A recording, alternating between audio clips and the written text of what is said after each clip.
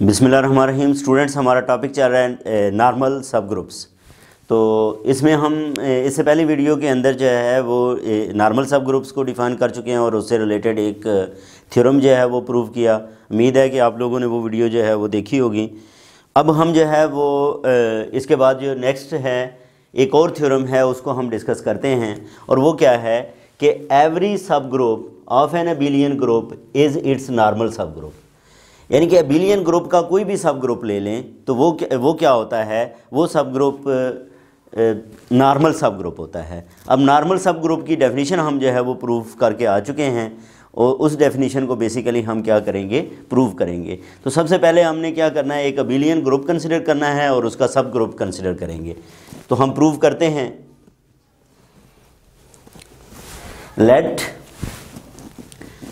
G be an abelian abelian group G be an abelian group and H be a subgroup of जी ये क्या है? H G का सब group है। अच्छा अब एच क्योंकि जो है वो इसका सब ग्रुप है तो ये खुद भी ग्रुप होगा और ये अबिलियन भी होगा। क्यों? कि जो अबील सब सब ग्रुप होता है अबिलियन ग्रुप का, वो खुद भी क्या होता है? अबिलियन प्रॉपर्टी को बे करता है, ये इनहेरिटेड होती है अबिलियन प्रॉपर्टी ठीक है? तो हमें प्रूव करना है कि ये नॉर्मल सब ग्रुप है। हमें क्या प्रूव करना है? कि ये क्या है? नॉर्मल सब ग्रुप है। For any H belongs to H कोई भी एलिमेंट जो एच को बिलोंग करता है एच बिलोंग्स टू जी ये देखें एच जी का सब ग्रुप है तो जो एलिमेंट सबको सब ग्रुप को बिलोंग करेगा, वो लाजमी ग्रुप को बिलोंग करेगा। एज एच इज़ ए सब ग्रुप ऑफ़ जी सब ग्रुप ऑफ़ जी एच जो है, वो जी का क्या है? सब ग्रुप है इस बुनियाद पे। अच्छा अब for G for G belongs to G G inverse also belongs to G अब यहाँ पे हम क्या करते हैं? G H G inverse element लेते हैं। अब ये G H G inverse element अगर एच को बिलोंग करता है तो हम कहेंगे एच नॉर्मल सब ग्रुप है। अगर बिलोंग नहीं करता तो हम कहेंगे एच नॉर्मल सब ग्रुप नहीं है। तो अब इसके लिए क्या करते हैं? ये जी एच जी इनवर्स देखें जी एच जी इनवर्स है। अब यहाँ पे हम क्या करते हैं? कम्यूटेटिव प्रॉपर्टी को जो है वो अप्लाई करते हैं। कम्यूटेटिव प्रॉपर्टी में ये होता है कि इसका आर्डर चेंज करने से कोई फ़र्क नहीं पड़ता। तो हम क्या करते हैं? इसे लिखते हैं जी जी इनवर्स एच और साथ ही एसोसिएटिव प्रॉपर्टी को जो है वो यूज़ करें तो ब्रैकेट हमारे पास ये आ जाएगी। G G inverse identity element आ जाएगा और आइडेंटी को एच से मल्टीप्लाई करें तो एच ही आ गया। इसका मतलब क्या है कि ये जो जी एच जी इनवर्स है, ये एच के इक्वल आ गया। तो ये एच क्योंकि कैपिटल एच को बिलोंग करता है, ठीक है? तो this implies that G H G inverse belongs to H which shows that which shows that H is a is a normal subgroup normal subgroup of G ये क्या है? एच जी का नॉर्मल सब ग्रुप है और यही हमें जो है वो प्रूव करना था। प्रूव क्या करना था कि every subgroup of an abelian group is its normal subgroup ठीक है?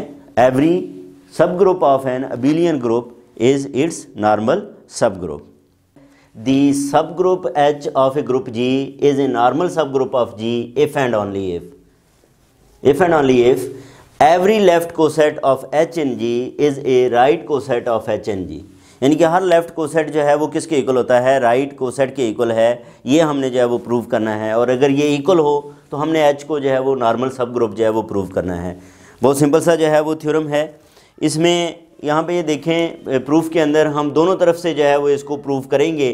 तो सबसे पहले हम ये लेट कर लेते हैं कि let H be a normal subgroup of G let H be a be a normal subgroup of G. H जो है वो जी का क्या है? नॉर्मल जो है वो सब ग्रुप है।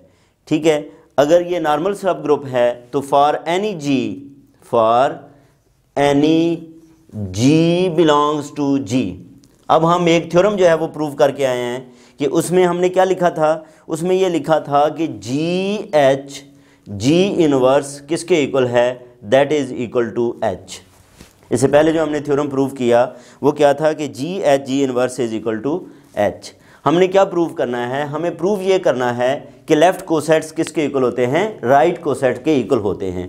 अब यहाँ पे ये देखें, ये जी इनवर्स है.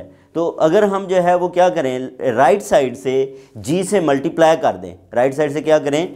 जी से मल्टीप्लाई कर दें तो G H G inverse G is equal to H G अब यहाँ पे ये हमारे पास क्या आ जाएगा? That is the identity element E is equal to H G अब आइडेंटिटी एलिमेंट मल्टीप्लाई होके ये G H is equal to H G which shows that left coset, ये basically left coset of H in G है। ये right coset of H in G है। तो which shows that which shows that left coset of H in G left coset of H in G is a right coset of H in G is a right coset of H in G अब हम क्या करते हैं? Conversely suppose करते हैं कि no conversely suppose that no conversely suppose that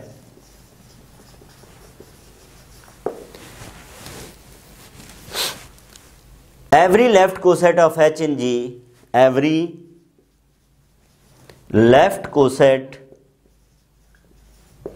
of H in G is a right coset is a right coset of H in G that is G H is equal to H G अब हम क्या करते हैं? इसे जो है वो G inverse से राइट से मल्टीप्लाई कर दें तो G H G inverse is equal to H G G inverse अब ये आइडेंटिटी एलिमेंट आ जाएगा तो that is equal to H E is equal to H तो G H G inverse is equal to H which shows that H is a normal subgroup of G which shows that H is a which shows that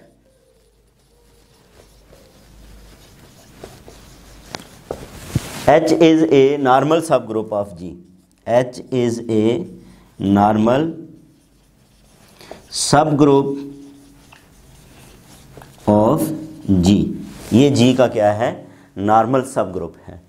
तो ये हमारे पास जो है वो theorem था कि subgroup of if H is a normal subgroup of G then all left cosets are equal to right cosets तो left cosets किसके इक्वल होते हैं? राइट कोसेट्स के इक्वल होते हैं.